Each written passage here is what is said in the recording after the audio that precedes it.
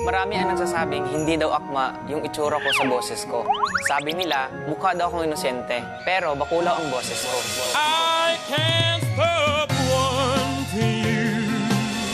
I said it's useless to say. At dyan ko nakuha ang puso ng mga hurados kung bakit naririto ako ngayon sa semifinals.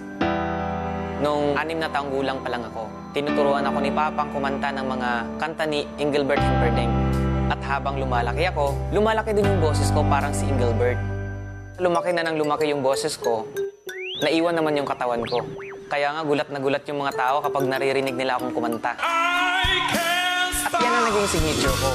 Lalo na kapag kinakanta ko ang I Can't Stop Loving You. Ug duhara ang akong dili kaya undangan ug biyaan. Ang pagkanta ug ang paghigugma sa nagtudlo sa kuha, ang akong amahan. Pa, kung dili tungod sa imuha, wala ko kung asa ko karon. I can't stop loving you, Papa.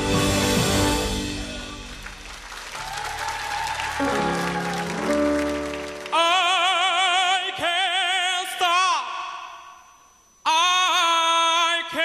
I. So I'll just live my life in dreams of yesterday.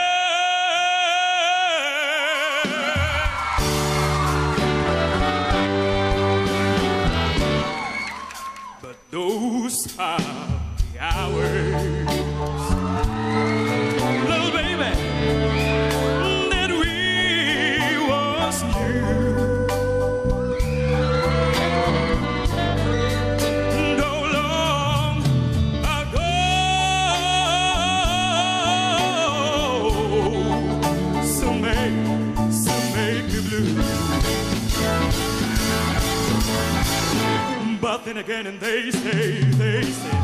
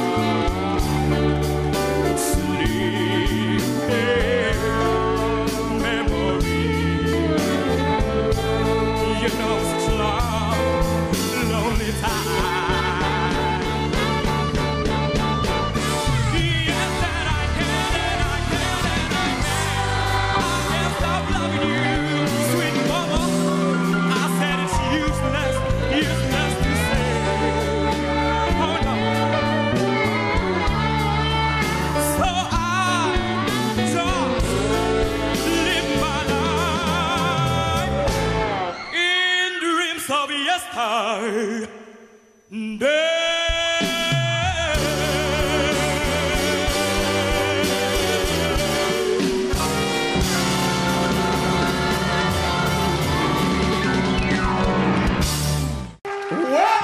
to your all-time favorite search for outstanding amateur talent.